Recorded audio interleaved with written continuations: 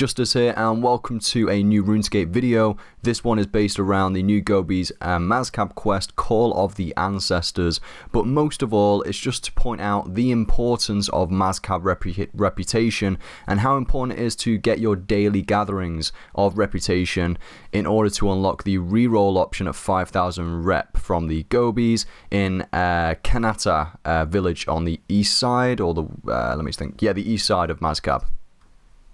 This quest is not going to contain too many spoilers, but it does show uh, some of the main parts of the quest line. So if you don't want spoilers and you just want to get to the points about the Liberation reputation, then you can skip um, towards the end of this video. I reckon about 2 minutes 30 seconds I'll probably start talking about Mazcab rep, so skip to there if you don't want spoilers. So yeah, as a whole, I think it's a pretty cool quest line. You take the form of three little goebies, Tunks, Pex, and Lunch. As you can see here, the three which I'm going towards now. They are pretty cool characters. You start to sort of warm up to them a little bit in the short time that you have with them, and they all have different attributes that will benefit you throughout the quest line. There are certain patterns and puzzles that you have to get through within the quest, and you have to use each character similar to the way similar to the Dungeoneering sagas if you've done those before, where you have to take the part and take control of certain characters within the quest line. It's very similar to that. You take control of the Goebies in order to complete puzzles. The larger Goebie is the is the one which is the strongest, and that that one you use to push different objects and to stand on the pressure pads. The little one here, you, you actually play as the little one most of the time, and you use the little one to go through and you know use different agilities to go through different obstacle courses.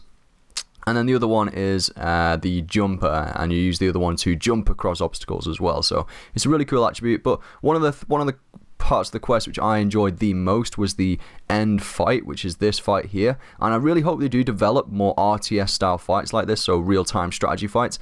It was so fun to do. Like you're just spamming the ground to create that detonation impact, and that will cast the uh, special abilities from the three Goebies that you've played as throughout the quest line previous to this boss fight.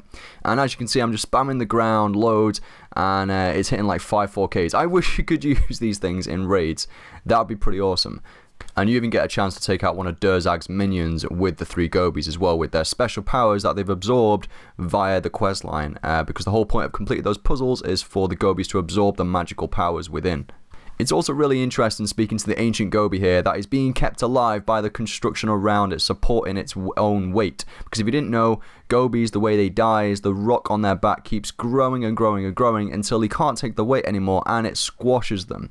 But there you go guys, the quest has been completed. I'm just going to briefly discuss now reputation and the importance of rep guys. You can collect up to 90 rep per day from completing tasks from Trunks here in the Kanata on the east side of Mazcab and he, you can do up to 3 tasks per day and you unlock 90 reputation. It's the only way you can get rep other than burial charms right now in the game.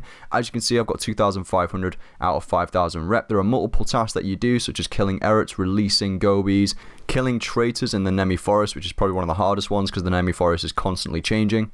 You can also get rep by collecting different uh, fossils, different creatures around Mazcab, and then taking those to Otot, I think his name is, in the northwestern side of Mazcab, the archaeologist.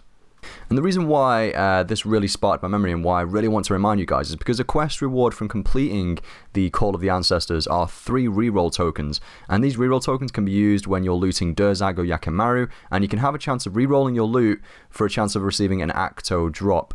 Now, when you have 5000 reputation, you can reroll once per reset, so that's one raid fight out of the two. Uh, and that's why it's so important to get this 5000 rep unlockable, which is the final unlockable you can get with uh, Mazcab Reputation. So make sure you're doing your daily tasks, guys. This is just a nice little reminder. I'm going to start really grinding those tasks out now on a daily basis to get that 90 rep per day. I really want that reroll option to get those Acto drops. Thank you guys for watching, and I'll see you guys in the next one.